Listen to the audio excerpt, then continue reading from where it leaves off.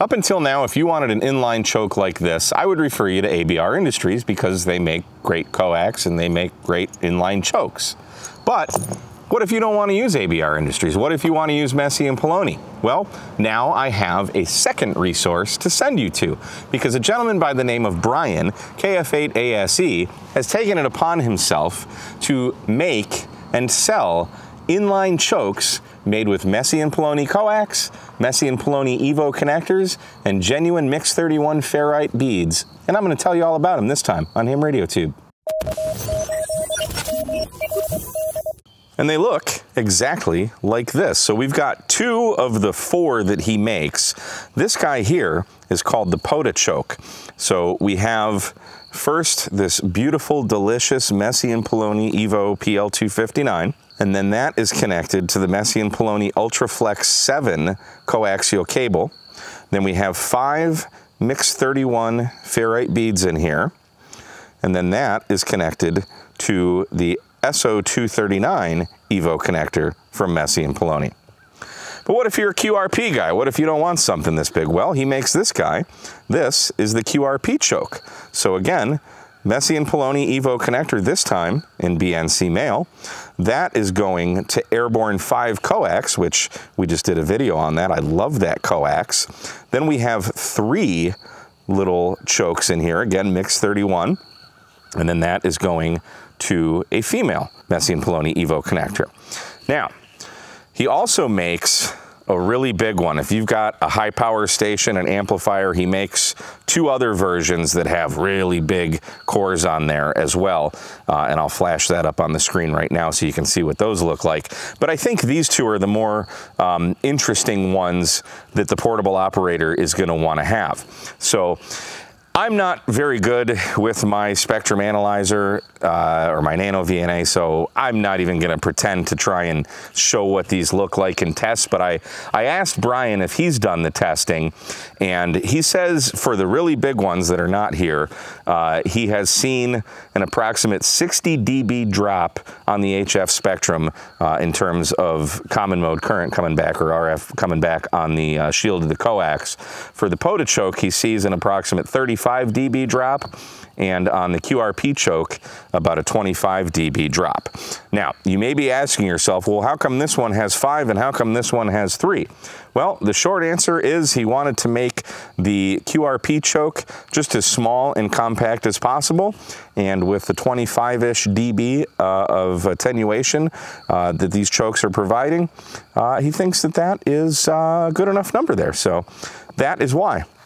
Now you've also got this cool, I like this sticker. He's got the little antenna logo on there, but he's also got, and I think this is great marketing because like if you're out with a bunch of buddies doing parks on the air and you've got a choke, people are gonna be like, where'd you get that choke? And then if he didn't have a sticker on, they'd be like, I don't know, I forget. But he's got KF8ASE ham radio supply. That's his Etsy store. He's got his phone number, his email, and KF8ASE ham radio supply.etsy.com, his website, where you can purchase these things. A fantastic uh, uh, very, very nicely built bit of kit. Uh, he rates these for 300 watts. I think he's being very conservative with that uh, because I know for a fact that uh, both of these cables can handle more than 300 watts, but uh, that's the rating they get. maybe it has something to do with the chokingness of it, heat buildup perhaps, I don't know, but you should be able to run plenty of power through these no problem. Another nice little detail, he didn't make these any longer than they need to be. Notice there's not a lot of coax sticking out. He wanted to make these as small and compact as possible. So hopefully, regardless of what kind of bag or what size bag you're using, you should be able to fit these chokes in there, no problem. Now, where should you put these on your antenna? Should you put them at the antenna? Should you put them at the radio? Let's talk about that. And would you believe the answer is it depends? Well, it is. Depending on the antenna you're using is going to depend where you're going to put your choke. Let's take a look at some examples. So first I'll show you the most common setup I use. This is the Packtenna 49 to 1 end-fed half wave. And you can see the coax is connected directly to the feed point. I don't use any counterpoise ever with my end-fed half waves, including my end-fed half wave at home, because my coax is acting as the counterpoise, the shield of the coax. But I don't want that stuff getting back into my radio, so I'm gonna put the choke right at the radio. So now we're blocking anything from the shield to the coax is gonna stop right here and bounce right back. So we just screw the PL259 into the radio, and then we screw the PL259 from the coax into the SO239 of the choke, and we're good to go. That's how I run it with an end-fed half wave.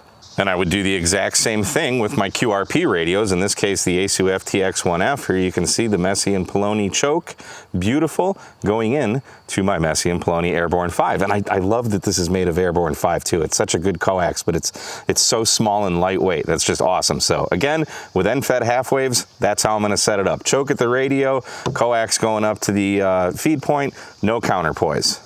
But what if you're like my good friend Mr. the Smoking Ape, who always puts a counterpoise on everything? ABC, always be choking, always be counterpoising. What do you do with the choke then if you got a counterpoise on your end-fed half wave? Well, you're gonna do something like this. We've got the antenna feed point here, and then I have a BNC to SO239 adapter, and then we have the choke coming off of that, and then the coax going into the choke. And on the Packtenna antennas, they've got two ground lugs here where you'd put a little banana plug and your counterpoise wire there. So the counterpoise is acting like a counterpoise instead of the coax acting like a counterpoise. So you're eliminating any common mode current right at the antenna feed point. So if you want to run it like that and with the counterpoise, that's how you're going to set it up. You do the same exact thing if you're running a 9 to 1, if this was a 9 to 1, or probably the 4 to 1s, the, the Rybakovs that everybody's using now because they're using the counterpoise. So they're going to put the choke right at the feed point and then have just the regular SO or PL259 going into your radio. But what if you're not using a 4 to 1 or a 9 to 1 or a 49 to 1? Where do you put the choke there if you're using a dipole or a vertical? Well, you're going to put that right at the feed point, whether it's uh, a DX Commander, a Wolf River Coils. Today I have the REZ antenna Recon 40 set up here. You're going to put it right at the feed point because your antenna already has the other side, if you will. That's what these ground radials are for. These are doing the same thing as what a counterpoise would do. They're, they're the other side of the antenna. Radiating element, other side, the ground side, the shield side.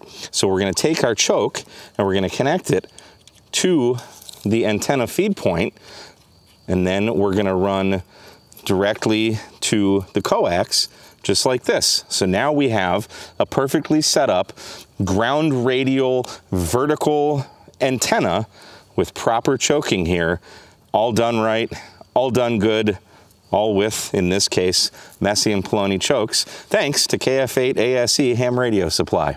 Now, the last thing I want to talk about, and I don't actually have, but I have enough knowledge of the entire catalog of Messi and Paoloni 50 ohm cables, I can speak with some intellectual ability about this.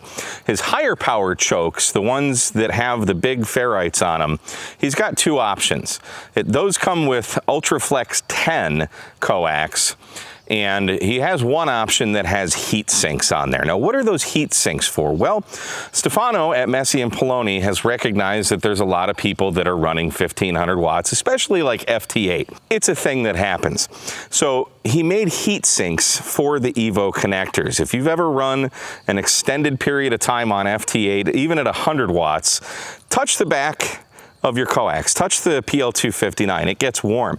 So those heat sinks are there to dissipate the heat to protect the center dielectric, the foam dielectric inside the, the cables. So if you're, if you're an amplifier guy, you might wanna look into the version that he makes just for your home shack, probably not out here in the field, but check out those chokes that he makes that has the heat sinks on there. I have some of those heat sinks. I have them on some of my cables. I don't really use them at home because I don't run power, but I have have them. They're awesome. They're metal, and they basically, instead of this uh, metal part here screwing into the back of the Evo connector, there's a big heat sink. It's about, I don't know, three quarters, maybe an inch long uh, of just pure metal heat dissipation goodness. So if that's something you're doing, high power stuff, you might want to look into that. But for us portable guys, this POTA choke or the QRP choke is going to be more than perfect. So that's my little spiel on these. Brian, thanks for sending these out. I love them. I think they're fantastic. Very, very nicely built. Again, you can find these on Etsy.